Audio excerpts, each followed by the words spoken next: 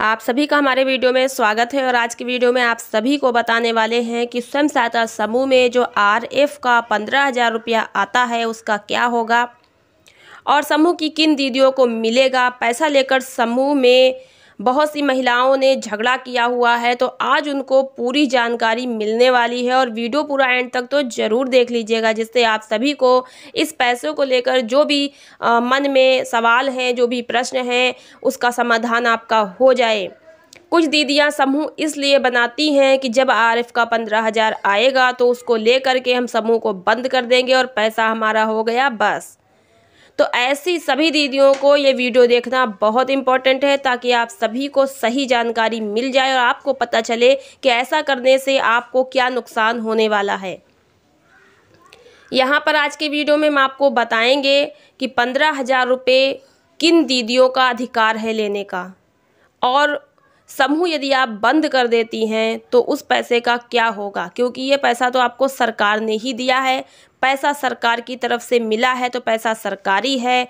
अगर कोई दीदी ये सोचती है कि पैसा ये हमारा है तो दिया तो सरकार ने है तो सरकार का ही पैसा है। लेकिन समूह के खाते में आया है और जैसा कि आप सभी दीदियाँ ये सोचती हैं कि ये पैसा जो पंद्रह हज़ार आया है, समूह की सभी दीदियों के लिए आया है और इसका बंटवारा करो, झगड़ा करती हैं तो ऐसा मत कीजिए। आपको पूरी सही जानकारी होनी चाहिए, जिससे आपको समझ आए कि समूह क्या है, समूह क्यों बनता है, समूह में पैसा आता है तो क्यों आता है और किन दीदियों को अधिकार होता है पैसा लेने का। और समूह यदि आप बंद कर रही हैं तो क्या होगा? पैसा समूह में आया है फंड का और फिर उसके बाद आप समूह को बंद कर देंगी तो फंड का क्या होगा? कैसे आपको समूह को बंद करना है और फंड का क्या करना है? बहुत सारे प्रश्न हैं तो चलिए आज के वीडियो में आपको सही से बताने वाले हैं। पूरा वीडियो एंड तक देखिएगा और वीडियो को लाइक कीजिएगा, चैनल को सब्सक्राइब नहीं किया वो भी कर लीजिएगा, ताकि आपको नॉलेज और जानकारी मिलती रहे समूह के बारे में और भी जो अपडेट आएगी, लगातार आपको वीडियो के माध्यम से मिलती रहेगी नोटिफिकेशन आप तक पहुँचता रहेगा। तो दीदी, सबसे पहले आपको बता दें कि स्वयं सहायता समूह इसलिए बनवाए गए हैं ताकि महिलाएँ हर तरह से अपना विकास कर सके। और महिलाओं के विकास की बात केवल पैसा कमाने तक नहीं है। महिलाएँ पुरुषों की तरह समाज में वो सारे कार्यों में भाग लें जो कि पुरुष करते हैं और महिलाओं का भी विकास हो, उन्हें भी समाज का ज्ञान हो, राजनीति का ज्ञान हो, पैसा कमाने का ज्ञान हो, व्यापार करने का ज्ञान हो, रोज़गार आदि करने का ज्ञान हो, हर तरह से सक्षम बने सशक्त बने, मज़बूत बने, आत्मनिर्भर बने। इसीलिए समूह में कुछ पद बनाए गए हैं, जैसे कि अध्यक्ष, सचिव और कोषाध्यक्ष, जिससे कि कुछ राजनीति का भी आप लोग को ज्ञान हो कैसे आपको अपना प्रतिनिधि चुनना है, किसे चुनना है और जो चुने हुए प्रतिनिधि हैं, उन्हें समूह को कैसे चलाना है, ग्राम संगठन है तो उसको कैसे चलाना है, क्लस्टर है तो उसको कैसे चलाना है, कोई भी पैसा आ रहा है तो उसको हमें कहाँ कहाँ बांटना है और कितना ब्याज लेना है, सारा लिखा, पढ़ी, लेखा, जोखा, हर तरह से आपके विकास के लिए सरकार ये समूह की योजना लाई है। इसका ये आशय नहीं है कि समूह आपने बना लिया और उसमें पैसा आ गया, आपने पैसा लेके खा लिया या अपनी कोई शौक, कोई आवश्यकता पूरी कर ली, समूह तोड़ दिया, बस। इन सब चीज़ों को दिमाग से निकाल दीजिए। समूह से जुड़ने के बाद महिलाओं का दायित्व यही होता है कि समूह को अच्छे से चलाएँ, पंचसूत्र का पालन करें और समूह में कुछ न कुछ अपने आप को मज़बूत बनाने, आत्मनिर्भर बनाने के लिए प्रयास करें। समूह को लंबे समय तक चलाएँ, कम से कम पाँच, दस साल तक चलाएँ, आखिर तक समूह को चलाएँ, दस साल तक का लक्ष्य है समूह को चलाने का, आखिर तक जो महिलाएँ इस समूह को लेकर जाएँगी, वही महिलाएँ सशक्त बनेंगी और वही महिलाएँ लाभ पाने की अधिकारी होंगी।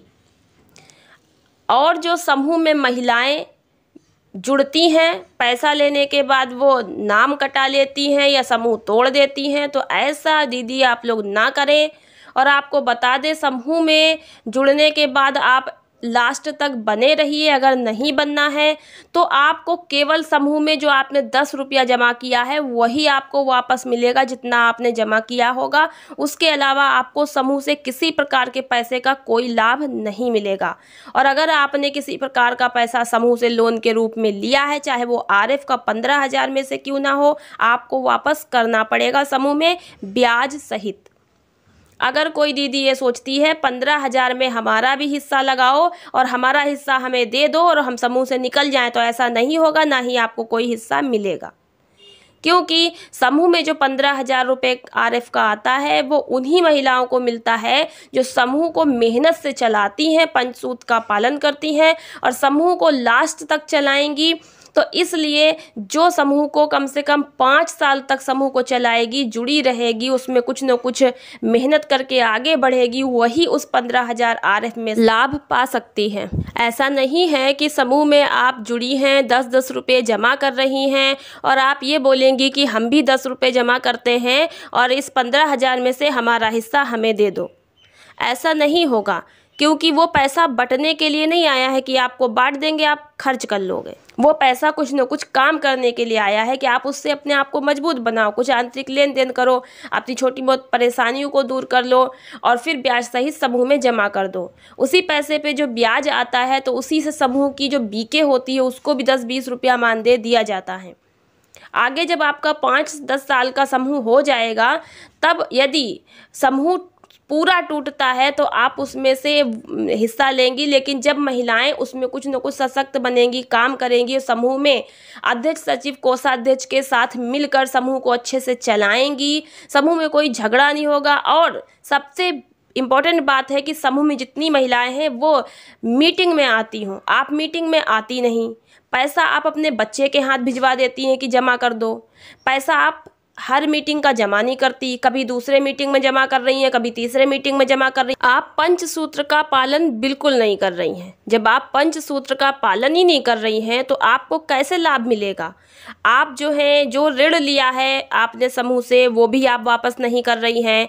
ना ही उसका कोई ब्याज जमा कर रही हैं, ना ही कारण बता रही हैं और बहाने बना बना के उस पैसों को लिए बैठी हुई जो भी समूह चल रहे हैं, इनकी बाद में सोशल ऑडिट भी होगी कि जो पैसा आया है फंड वगैरह का, उसका क्या किया, कितना उपयोग किया और साथ ही समूह में कितनी बचत हुई है, कितना पैसा खर्च हुआ, कितना बचा, आय व्यय और समूह अब हानि में है या लाभ में है। क्योंकि समूह के भी अपने खर्चे होते हैं, बैंक जाने का खर्चा, आने का खर्चा है, कोई प्रकार के अगर फ़ोटो कापी वगैरह करवाना उसका खर्चा है, समूह के बीके का मानदेय देना उसका खर्चा है तो ये सब निकालने के बाद देखा जाता है कि एक साल के बाद समूह का कितना बचत हुआ है, कितना खर्चा हुआ है, कुछ पैसा बचा है कि नहीं बचा है, सब चीज़ें देखी जाती हैं।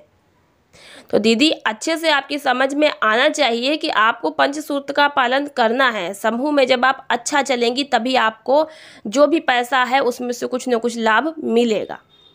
तो ये जो समूह अध्यक्ष सचिव, कोषाध्यक्ष है या समूह अन्य समूह की सदस्य दीदियाँ जो अच्छे से समूह को चला रही उन्हीं लाभ मिलेगा। समूह में जो भी महिलाएँ मेहनत से काम कर रही हैं तो समूह में जो पैसा आता है, उसका लाभ भी समूह की मेहनत करने वाली महिलाओं को मिलना चाहिए। हाँ समूह में जो महिलाओं को नौकरी मिल रही है या कोई प्रकार का कार्य मिल रहा है और वो महिला उसको कर रही है तो उसका मानदेय जो भी आता है वो उसको मिलेगा। और विशेष बात यह है कि समूह से जुड़ने के लिए महिलाएँ इसलिए भी उत्साहित हैं कि सोचती हैं समूह से जुड़ के हमें नौकरी मिल जाएगी। और जिनको नौकरी मिल गई है, वो ये परेशान है कि उनको मानदेय नहीं मिल पा रहा है। देखिए, समूह से जुड़कर यदि आप कोई रोज़गार या व्यवसाय करती हैं तो वो बहुत आगे तक जाएगा और उससे आपको बहुत अधिक मुनाफा होगा। वो आपका अपना बनाया हुआ कोई भी उत्पाद होगा, जिसे आप बेच सकती हैं और सीधे आपको पैसा मिलेगा। इसके लिए सरकार बहुत प्रयासरत है, बहुत सारी योजनाएँ हैं, बहुत सारे कार्य हैं जिनसे महिलाओं को जोड़ा जाएगा। कुछ पहल आप अपने स्तर से कीजिए और जिसको आगे सरकार बढ़ाने में मदद करेगी। समूह में आगे चलकर बहुत सारी योजनाएँ आएँगी। विभिन्न प्रकार के रोजगारों से महिलाओं को जोड़ा जाएगा।